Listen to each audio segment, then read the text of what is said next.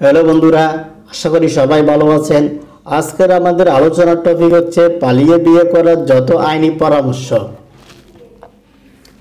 আমাদের দেশে আইন আদালত সম্পর্কে যাদের ধারণা কম, তাদের জন্য এই ভিডিওটি কাজে আসতে পারে। এই ভিডিওটি পালিয়ে বিয়ে করতে উৎসাহিত করা নয়, বরং পালিয়ে বিয়ে করার পর রিস্কগুলো সম্বন্ধে সাবধান করা। পালিয়ে বিয়ে করতে গেলে আমাদের মুসলিম ছেলে মেয়েদের অনেকের মনে নানা প্রশ্ন দেখা দেয়। যেমন, বিয়ের পর কোনো সমস্যা হবে না তো? বিয়েটার বৈধটা কেমন হবে? বিয়েটাই বা কোথায় করতে হবে? কোর্টে নাকি কাজী অফিসে? ছেলেরা ভাবে, মেয়ের বাবা যদি মামলা করে দেয় নারী নির্যাতনের, তাহলে তো জেল খাটতে হবে ইত্যাদি নানান বিষয় নিয়ে চিন্তিত থাকেন। যদি এই ভিডিওটি সম্পূর্ণ দেখেন, তাহলে আশা করি অনেক কিছু বুঝতে পারবেন। অনেকেই ভাবেন এসব ক্ষেত্রে হয়তো কোর্ট ম্যারেজ করতে হবে, কোর্ট ম্যারেজটা আমরা অনেকে প্রায় শুনে থাকি। কিন্তু এটা নিয়ে একটু আমাদের ভুল ধারণা রয়েছে। অনেকে যারা অভিভাবকের সম্মতি ছাড়া বা পালিয়ে বিয়ে করতে চায়, তারা কোর্ট ম্যারেজ করতে যায় বা করতে চায়। অনেকেই মনে করেন কোর্ট ম্যারেজ হয়তো কোর্টে গিয়ে বিয়ে করা অথবা ম্যাজিস্ট্রেটের সামনে বিয়ে করা। আসলে তা নয়। কোর্ট ম্যারেজ করতে হলে আপনাকে যেতে হবে নোটারি পাবলিকের সরকারি রেজিস্টার্ড উকিলের কাছে।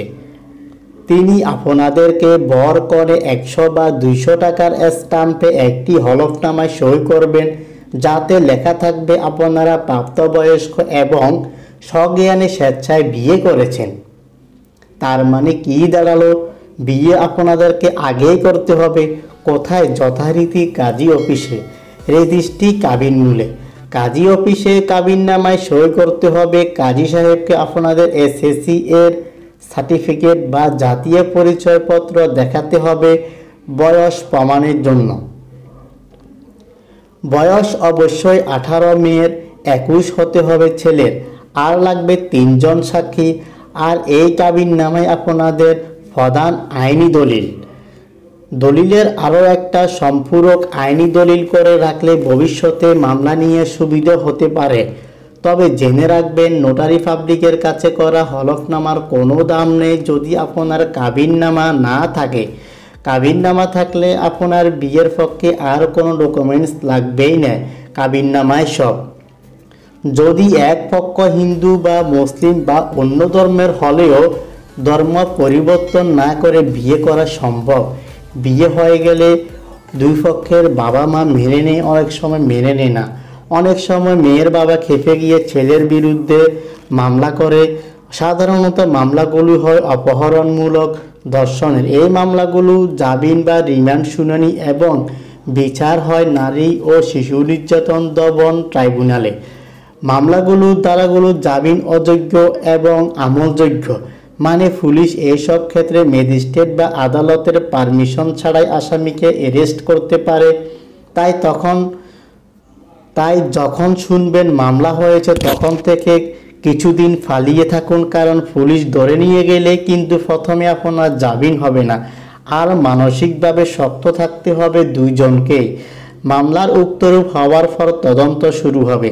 ভিকটিম মেয়ের বাবার চোখে মেয়েটি এখন ভিকটিম। এর জবানবন্দি দিতে হবে জুডিশিয়াল ম্যাজিস্ট্রেটের সামনে।